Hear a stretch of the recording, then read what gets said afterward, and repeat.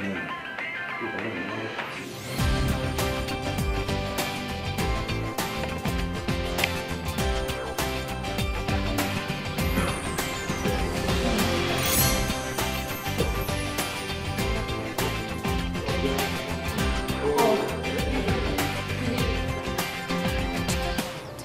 이 사연 한 너무 하고 싶었거든. 아 진짜.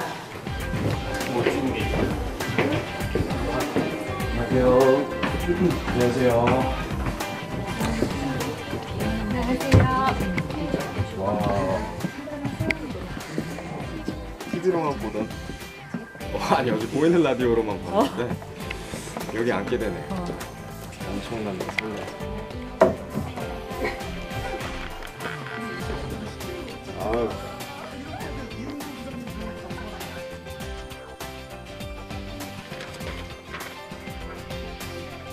슈퍼주니어의 Kiss the Radio 오늘 또 하나의 꿈을 이루게 됐네요. 저는 special DJ 배우 이희재입니다.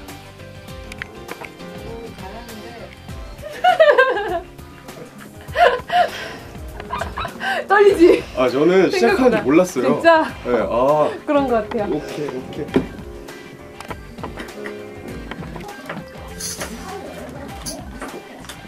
음악 중에보다 더 떨리는 것 같아요. 여자친구보다? 알겠습니다.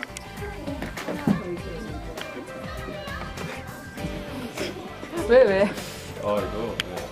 네. 아 지금 이거 얼굴 나가는 건가요? 어, 이 화면에 아. 나가는 화면이야. 벌써 난 항상 이 시간 되면 다들 아쉬워해.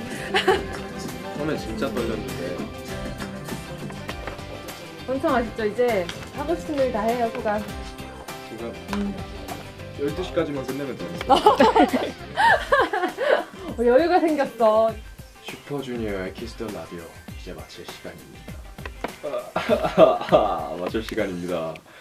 키스 가족 여러분, 내일은 더 달콤한 키스 나눠요. 고생하셨습니다.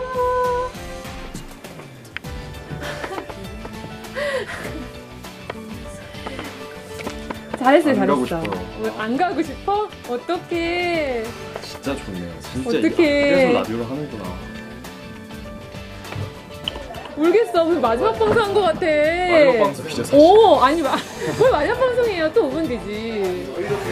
정말 감사합니다. 진짜 이런 시켜주셔서 너무 진짜 감사합니다. 진짜 너무 너무 좋은 추억이었어요.